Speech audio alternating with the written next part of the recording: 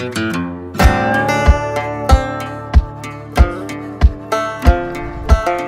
hey, everybody. James Swank here with Junk 180, 707 536 0740. Check us out online at junk180.com. Um, just want to introduce truck number three. Here it is 16 foot box truck, Isuzu NQR. Access side door there. It's kind of nice. Got a lift gate on the back which is also kind of nice. And then just a standard kind of flat surface around the driver's side. Um, so there's uh, some points I want to make on as to why we uh, went with a box truck for our third truck. And uh, I'll get to those after, uh, towards the end of this video. But what I want to focus on right now is this. So the lift gate, we've had this truck for about two to three months now. We use it. Uh, it's not scheduled out full time yet. We do use it probably once or twice a week. And um, I'm just going to show you something that has been driving me crazy. And it's something that I'm going to take advantage of uh, having the availability to do today. So I'm going to get it done. So the liftgate has these uh, I don't know, little retaining houses, I guess, housing on both sides.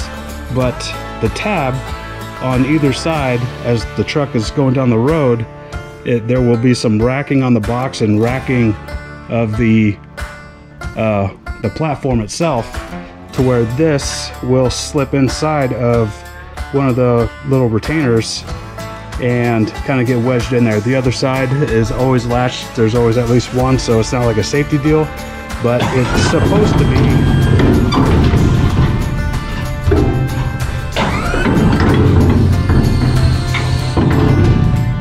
Supposed to be setting just like that. Right, on both sides. So, what I'm gonna do is break out the old grinder, break out the old welder. I got some uh, scrap angle iron in the back from uh, some previous work on one of the other trucks. So what I'm to do is uh, basically attach, um, I don't know, I'll just say finger. I'm to attach uh, some additional material so that way there is uh, some overhang here on both sides. So when it does rack around, it's not to fall out of one of these brackets. So, enough said. Let's get to work.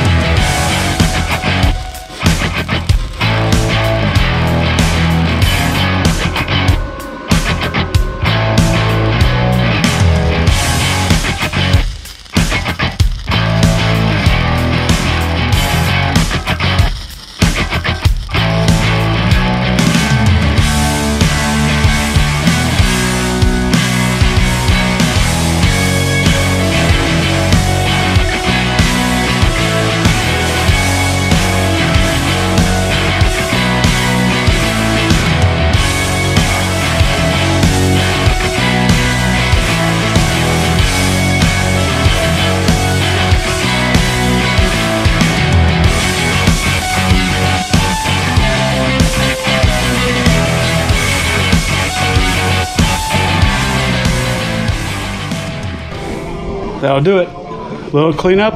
We'll see how it works. All right, so uh, modification all done. Let's take a look at the finished result here.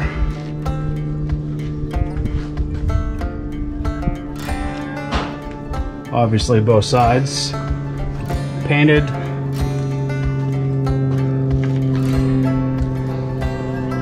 So that's gonna do its job just fine. Let's uh, venture around this way. So why did Junk 180 go with a box truck? Our first two trucks are dump trucks, and there's a couple reasons. A couple reasons why. Number one, uh, I wanted to get a box truck in the fleet anyway because uh, there are certain times when it's the right tool for the job. The uh, well, let, us think about some examples, some current events. We had uh, we've had several commercial cleanouts that have had large appliances. For example, uh, there was one particular shop uh, over in I believe Walnut Creek, and the uh, owner had three locations of a smoothie shop, and uh, due to uh, COVID hardships he closed two of his locations to focus on the remaining one location. And he had uh, some commercial sized freezers, refrigerators, and it made that job pretty easy just to be able to wheel them out to that lift gate, lift them up, put them in, strap them to the wall, and call it a day. It made that job pretty easy.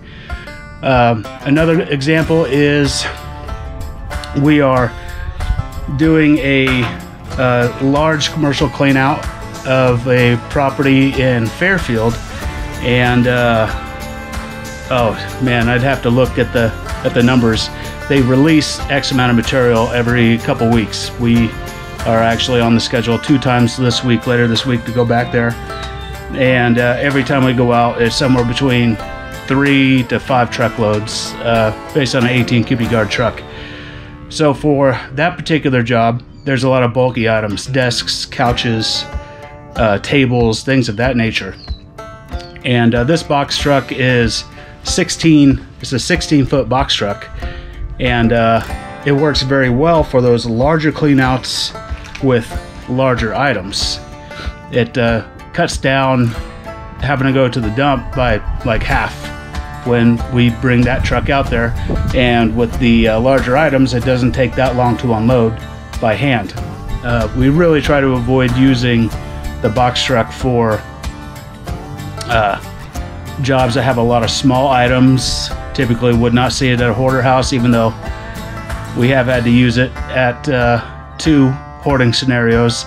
And um, it's just a, a, huge pain to be taking the small items out. You know, it could take over an hour to offload a truck, uh, one guy to offload the box truck when it's full of small items but it's full of big items.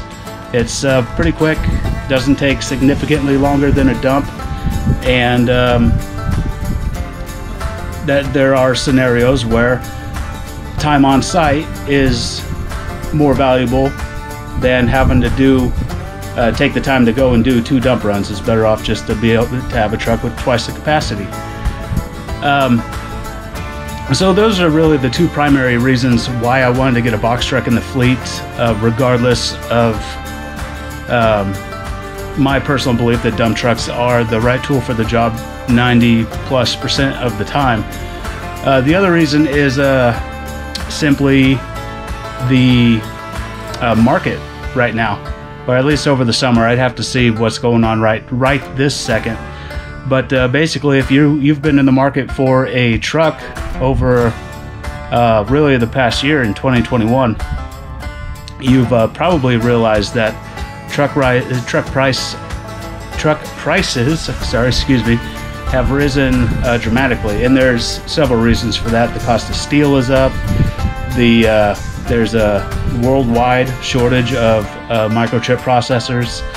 Um, I think Ford has just like a whole stadium full of uh, completed vehicles just waiting on the uh, chips for the computer to to finish them off. Um, but because of COVID, and uh, just in short, because of COVID, there's been uh, shortages of these low cab forward trucks. So the uh, it's, it's driven the market up, not just for new trucks, um, but for used vehicles as well. You know, if there is not a new truck available for a company to uh, purchase to replace an older aging vehicle, they aren't going to get rid of their older aging vehicle, right? So that's uh, the market we've been in. And on average, oh, they're probably 15 to 20,000 more than they were uh, just a year and a half, two years ago. I used my, uh, actually both of them, the 2015 and the 2012 uh, Isuzu NRR dump trucks. I got both of those for right around the $30,000 mark. Now you uh, try to find a truck like that under 50, you're you're going to be lucky to find it under 50. You can find some in the 45 to 50 range, but for the most part, even the dealership I bought that uh, box truck from, they had some dump trucks on site, the smaller NPRs, uh, not even the NPR HDs, which uh, be careful with that because uh, you, are not going to be able to load a lot in the back and, and stay legal with your weight. Um, they were selling for fifty and fifty-five thousand dollars. So that's the other reason. I always wanted to get a box truck in the fleet. I probably would not have gotten one as truck three, except for the economics right now.